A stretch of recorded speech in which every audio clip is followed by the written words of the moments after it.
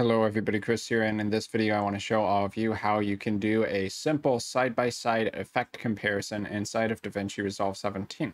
So first I'll show you the effect where we have two copies of the video, one overlaying the other, and both of them are still stretched out to the full width of our video frame. So I'm going to take our base clip in video track one, and I'm going to copy it and paste it. So I'll go over here a little bit, control V to paste it into video track one again, and now I'll pull it up here to video track two, and all the way to the left.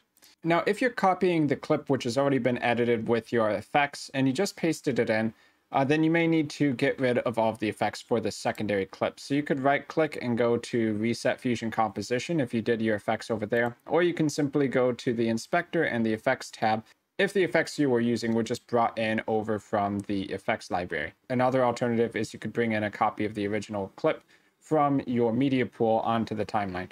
Either way, you need to end up with one clip that has the effects and one that doesn't. So since I haven't actually added any effects yet, I'm going to add the effects to video track 2, and then video track 1 will just be the base underlying clip.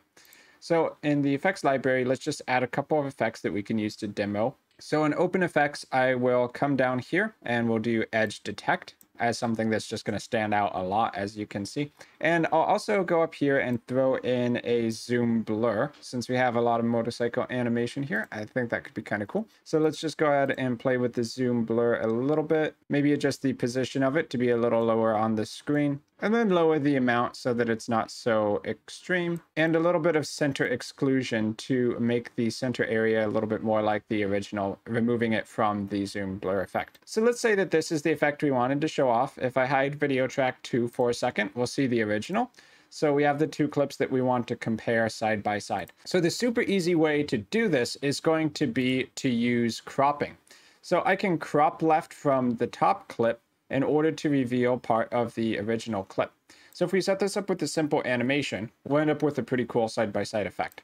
So let's go about one second into the timeline, and I'm going to pull the crop left in about 50% here. We could actually just type in the exact pixels if we know what we need it to be. So assuming that we have a 1920 pixel width in the timeline, if we divide that by two, then I think we're going to get 960. So let's keyframe it right there, and there we have the side-by-side -side split. But let's go to the first frame here. And now let's either push the crop all the way to the right, if we want to show the original before we show the modified effect, or we can have the crop all the way at the left if we want to show the modified before we split and show half of the original. So I'll go back to the start and hit play here and we'll get that little slide in animation from the top clip. So now we have our 50-50 split. So at this point, we could also add some extra stuff to the screen. So for instance, if we want to add a title, we could drag something like this in here, bring it to the bottom left, put in text for before, make a copy and say after, position it on the right side of the screen. And if you want, you can animate the two titles. A couple more things you could consider adding down the middle. If you don't like this hard edge with the cropping, you could add in a little bit of softness and then you could bring back the crop left a few pixels so that it's centered once again. Or as an alternative to that, if you want a even more obvious divider, you could add in a white line that goes down the middle. So to do that, I could add in a simple fusion composition layer here. So I'll just put this above on video track five. It's just a blank clip. And we can go into the fusion editor and add in that white vertical line. So we do it using vector shapes. I'll do right click, add tool, shape, rectangle, and then right click, add tool, shape, render, we connect rectangle to render, render to media out, and now we just need to shape this rectangle so that goes all the way down the middle of the screen. So let's shrink the width dramatically, increase the height. Okay, now if we go back over to the other page, we can see roughly how it's going to look. I would say it's still a little wide, so I'm going to shrink the width further. And we'll go back over to the edit page. Okay, looking good. Okay, so now to animate this little white line onto the screen. So we'll use crop top at the first frame. I want it to be all the way cropped here at the bottom. So let's keyframe it there with the maximum value. Go a few frames in and we'll remove all of the crop top. Now if we play it back or hit space, we should get a little animation where our white bar goes from the bottom to the top of the screen. So something like that could serve as an alternative divider. So now as an alternative way that we can represent these two clips, I'm gonna take these two, I'm gonna hit Control C and we're gonna copy them and then we're gonna paste them over here on the right and we'll kind of redo this a little bit. So what we're going to do is we're going to take these two clips and put them in little boxes so we won't need cropping anymore because we're going to shrink the actual video frames.